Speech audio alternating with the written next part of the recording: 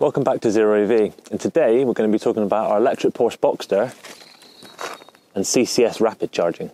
So, let's go. As you can see, we've got a CCS2 rapid charging point added to our Boxster. Um, we've got a bit of 3D printed stuff going on just because it's our, our prototype test vehicle. We've also got a little button hidden down in here which gives us indication as to state of charge and um, whether it's charging, whether it's ready to charge, whether it's communicating, etc., which we'll go through a bit later on. Um, it also does the release to allow us to release. Um, as you can see, CCS type Type 2 charging port. Simply plugs in, activates, allows you to charge. Now, instead of going through everything here at the unit, we're going to go on a little uh, adventure. We'll get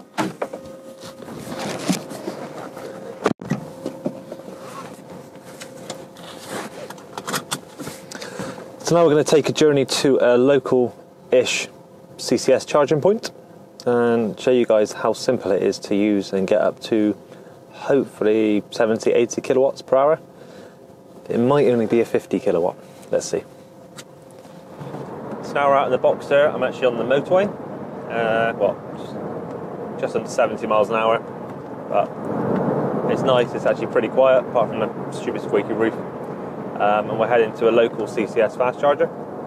One we're going to is uh, a Polar Plus, which is uh, Chargemaster, which is a local one for us, which is 50 kilowatts. Um, this will obviously also charge on all the other CCS charge stations as well. We've actually spent a lot of time going around in the Boxster to all sorts of different cheap CCS chargers just to make sure that it works at every single one, which it does. Um, and as new ones come onto the market, we'll also test that, and if we need to make updates, make updates. A CCS kit in this works with the Orion battery management system currently, um, in which they've been nice enough to make adjustments to their software and actually add a tick box.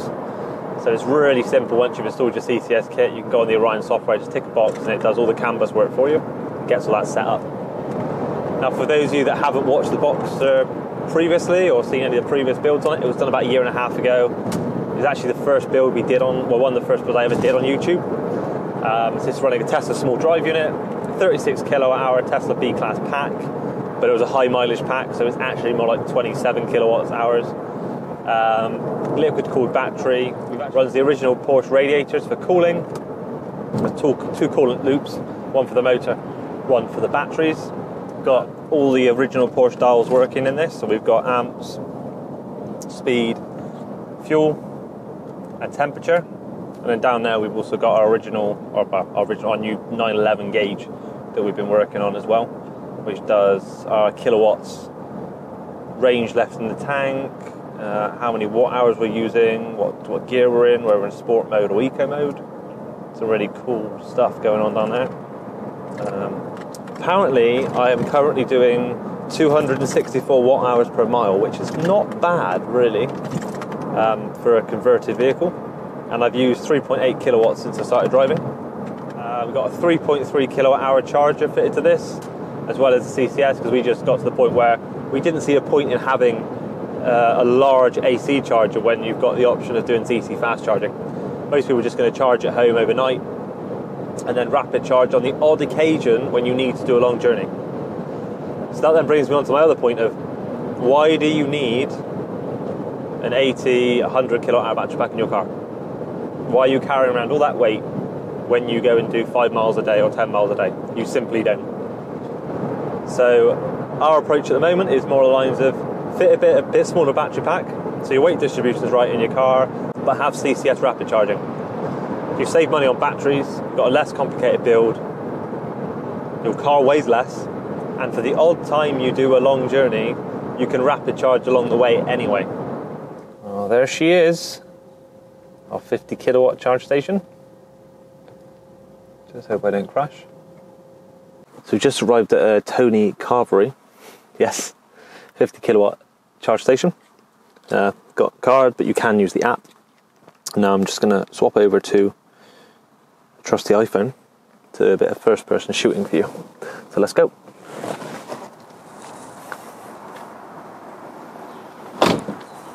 So we have our Porsche, or our CCS charge point. Remember? Uh, where's this go?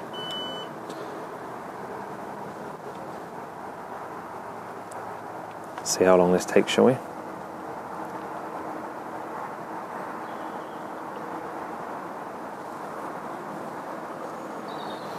think these things would be a bit quicker by now, wouldn't you? Contactless payment transaction failed. Your card account has not been debited. Let's try again, shall we? Member. What's that one? I don't know.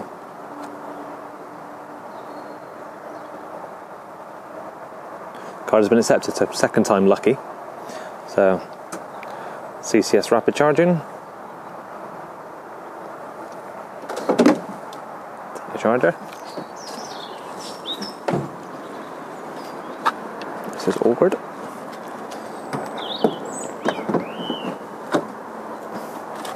So a little light comes on here. Blue means the lock's engaged. Then on here it now goes for authentication process, vehicle detector, communication okay. Hopefully it says safety check okay, which it should do.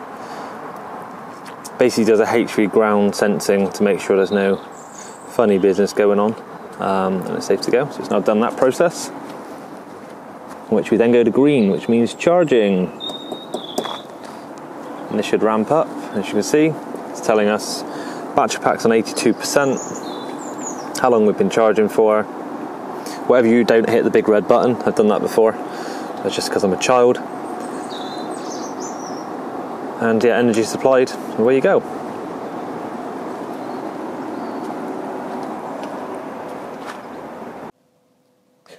Right, suppose we've uh, put enough charge in. I said we came in at about 80%, so we're 87% now after not even five minutes. Um, obviously, because we're over that 80% state of charge, it doesn't charge as fast. It ramps it down naturally, so it doesn't do any damage. So we're normally, I think we're probably charging currently now at about 20 kilowatts an hour. Whereas if you're below that 80%, you're going to be charging it the full, or very close to the full 50 kilowatts per hour. Um, so we're now going to head back out and do the disconnection process. So back to the trusty iPhone, which he swapped over to the iPhone now. As you can see, nearly fully charged on there.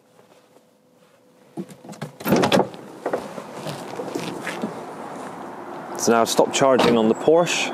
You can press stop charging on here, which will start the charging process, or you can do it on the button here, which then communicates back to the charger, tells the charger stop charging. We put 2.1 kilowatts in in five minutes, 5.45 minutes. The fact that that's now gone to blue means that this should be unlocked. Yes. So that unplugs and it goes back to as it was.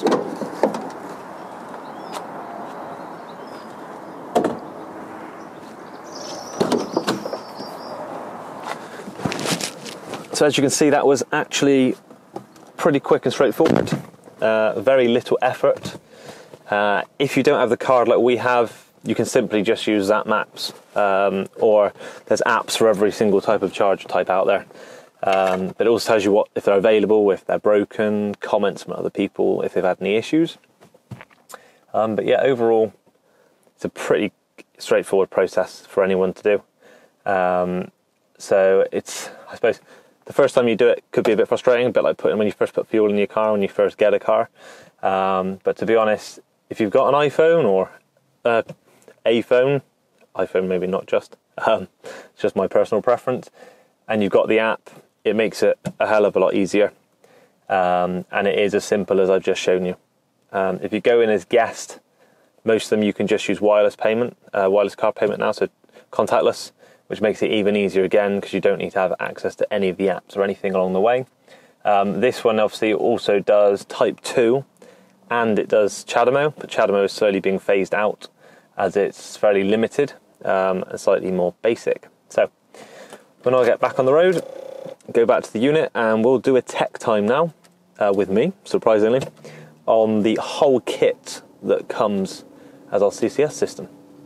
So let's go for tech time with Chris. Now, this is our tech time part of the episode. We're actually going to talk through the parts that come in the CCS kit, which is what we've got fitted to the Boxster.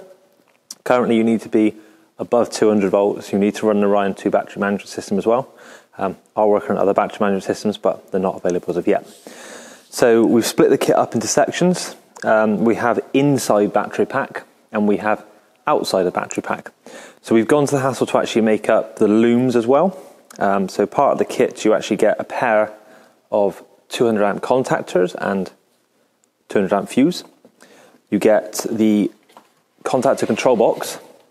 Now this sits inside of the battery box or your high voltage junction box, um, depending on how you've wired it. We do everything internal to the battery box. So we have a multi-pin connector which you would cut onto your battery box to actually be an exit line.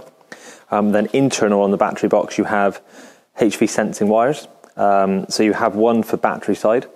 So this is positive negative contactor after the contactors, so after the batteries.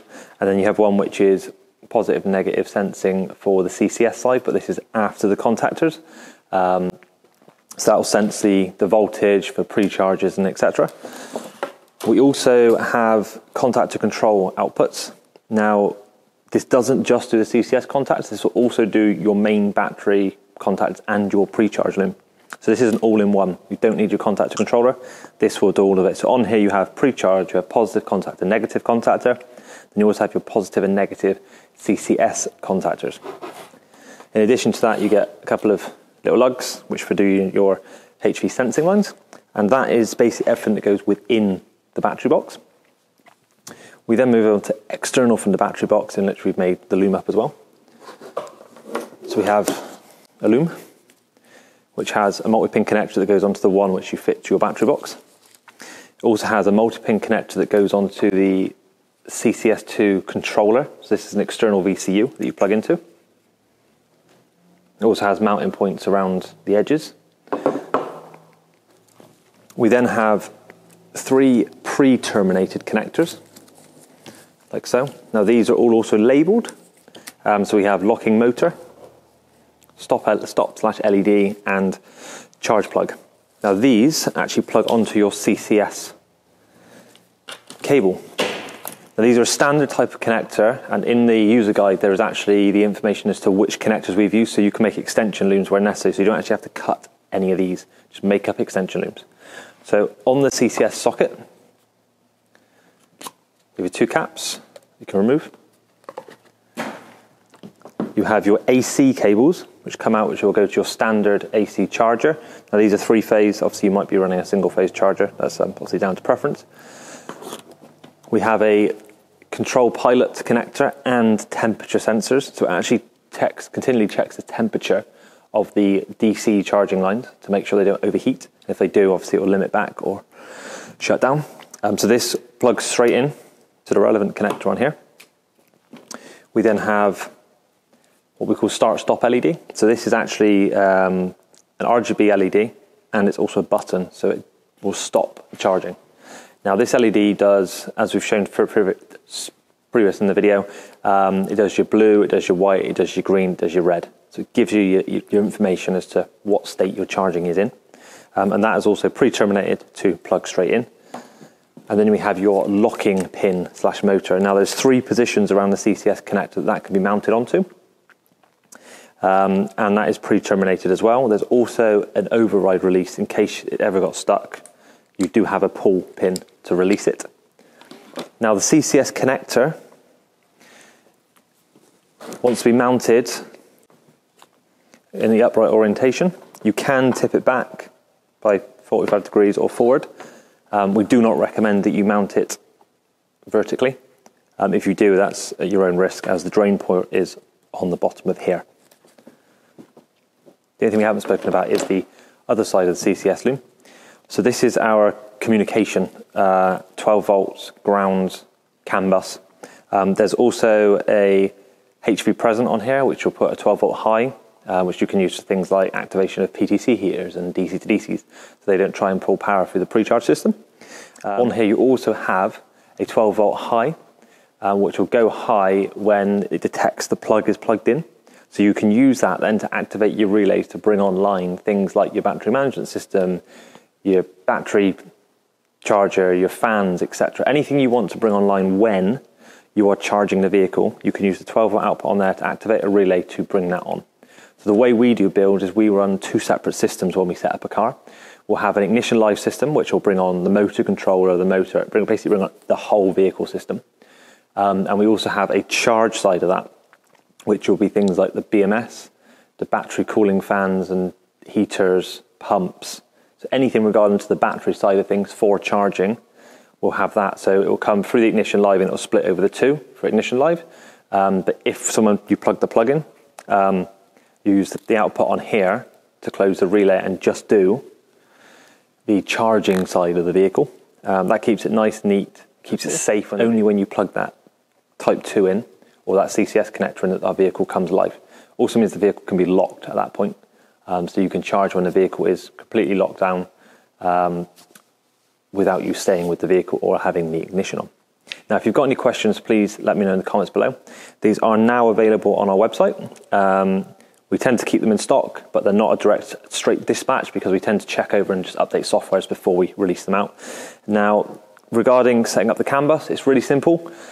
Head onto the Orion software, go to CAN bus, and there's actually a, a tick box that Orion have nicely put in there for us um, called Zero VCCS. So you basically check that box and then reflash your, your software onto your Orion, um, and that'll actually allow you to get your CCS working nice and easy.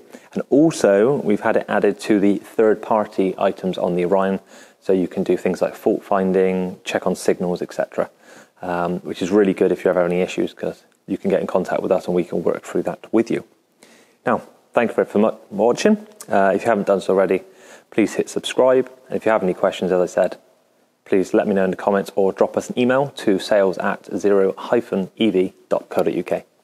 Thank you.